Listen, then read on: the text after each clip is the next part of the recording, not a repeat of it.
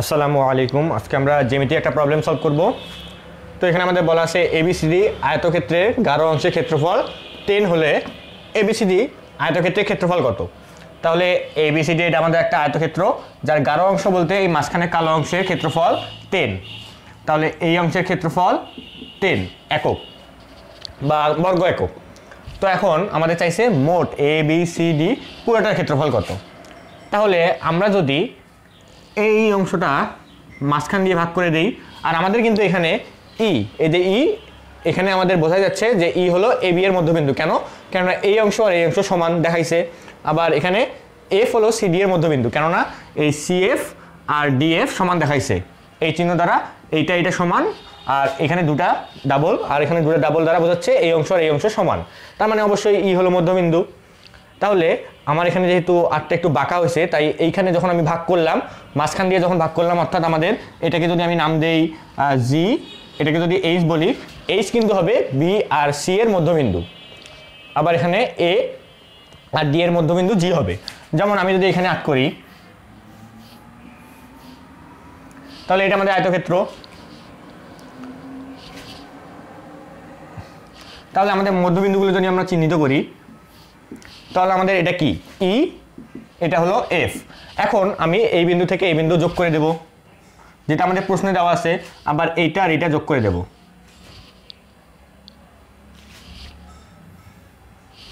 একইভাবে আমি এই বিন্দু আর এই শীর্ষবিন্দু যোগ করে দেব এবং এইটা আর এইটা যোগ করে দেব। তাহলে এবার আমি দেখি, আমাদের কালো অংশ এটার কিন্তু ক্ষেত্রফল দেওয়া আছে টেন আমাদের চাইছে কিন্তু পুরাটার। তাহলে এবার আমি যদি এই যে এটা যদি এ বি সি ডি হয়, তো আমি মধ্যবিন্দু নির্ণয় করলাম এডি এর। সেটা কি? জি আর বিসি এর মধ্যবিন্দু কি নির্ণয় করলাম? এইচ এখন আমি যদি এই জি আর এইচ যদি যোগ করে দিই, তাহলে এই আয়তক্ষেত্রটা সমান দুই অংশে ভাগ হলো। একটা এ বি এইচ জি আর একটা জি এইচ সি ডি এটা ক্ষেত্রফল আর এটা ক্ষেত্রফল কিন্তু সমান। একইভাবে আমি যদি ই আর এফ যদি আমরা যোগ করে দিই তাহলে কি হলো? আবার দুইটা অংশে সমান ভাগে ভাগ হলো। একটা এ ই এফ ডি আর একটা ই বি সি এফ এইটার ক্ষেত্রফল আর এইটার ক্ষেত্রফল কিন্তু সেম এবার আমরা কি করব? এ আর ই এর মধ্যবিন্দু নির্ণয় করব। এ আর ই এর মধ্যবিন্দু সাপোজ আমি একটা নির্ণয় করলাম এইখানে। আবার ডি আর এফ এর মধ্যবিন্দু নির্ণয় করি। ওটা এখানে হবে। মাঝামাঝি একটা মান আমরা ধরে নিলাম বা বিন্দু একটা ধরে নিলাম। এখন এই দুটা বিন্দু যদি যোগ করে দিই তাহলে এ ই এফ ডি এটাকে কিন্তু সমান দুইটা অংশে বিভক্ত করল। যাদের ক্ষেত্রফল সমান। একইভাবে আমি ই আর বি এর মধ্যবিন্দু নির্ণয় করি, আবার সি আর এফ এর মধ্যবিন্দু নির্ণয় করি। এবার আমি যদি যোগ করে দেই, তাহলে ই বি সি এফ এটাকে আবার সমান দুইটা অংশে ভাগ করল যাদের ক্ষেত্রফল সমান। এবার আমি দেখি, এই ত্রিভুজ, এই যে ছোট ত্রিভুজ, এইটা এবং এইটা, পরস্পর কি সর্বসম না? এই যে এইটার মান আর এইটার মান সেম অর্থাৎ আমাদের এইটা, এই এই ত্রিভুজের এই ত্রিভুজের এই বাহু আর এই ত্রিভুজের এই বাহু সেম আবার আমাদের এতটুকু আর এতটুকু লম্ব, কেননা লম্ব, এই যে এই অংশটা লম্ব আর এই অংশটা লম্ব, তাই এটা একটা আয়তক্ষেত্র। তাহলে আয়তক্ষেত্র বিপরীত বাহু তো সমান, আমরা জানি।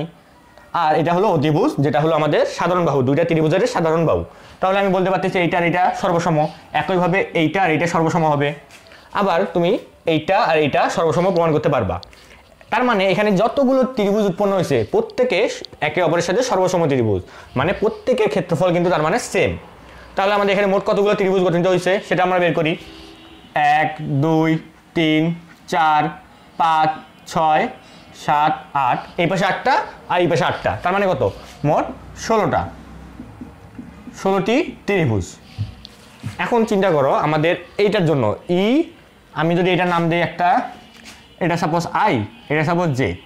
তাহলে ই, আই, এফ, জে। এটার ক্ষেত্রফল কত দেওয়া আছে আমাদের? টেন। গাঢ় অংশের ক্ষেত্রফল টেন। তার মানে আমাদের গাঢ় অংশটা কোথায় কোথায় ছিল? এইটুকু অংশ মিলে। এটার ক্ষেত্রফলই তো টেন ছিল। এখন এখানে মোট কতগুলো ত্রিভুজ আছে? একটা, দুইটা, তিনটা, চারটা, মোট চারটা ত্রিভুজ। তাহলে চারটা ত্রিভুজের ক্ষেত্রফল আমাদের দেওয়া আছে এখানে টেন তাহলে একটা ত্রিভুজের ক্ষেত্রফল কি হবে? টেন ডিভাইডেড বাই ফোর এটা একটা ত্রিভুজের ক্ষেত্রফল। এখন আমাদের প্রত্যেকটা ত্রিভুজের ক্ষেত্রফল তো সেম এখানে যে ষোলোটা ত্রিভুজ আছে, প্রত্যেকটার ক্ষেত্রফল সেম এখন আমি একটা ত্রিভুজের ক্ষেত্রফল জানি, তার মানে আমি জাস্ট এইটুকুর ক্ষেত্রফল জানি। তাহলে আমাকে পুরো আয়তের ক্ষেত্রফল জানার জন্য ষোলোটা ত্রিভুজের ক্ষেত্রফল জানতে হবে।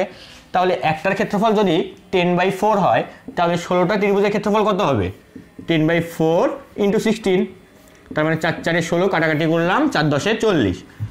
ষোলোটা ত্রিভুজের ক্ষেত্রফল চল্লিশ মানেই তো এই পুরো আয়তক্ষেত্রের ক্ষেত্রফল চল্লিশ। তার মানে আমি বলতে পারি আয়তক্ষেত্রের ক্ষেত্রফল চল্লিশ বর্গ একক। তার মানে আমাদের অ্যান্সার হবে ফোরটি তাহলে আশা করি এটা তোমরা সকলে বুঝতে পেরেছ।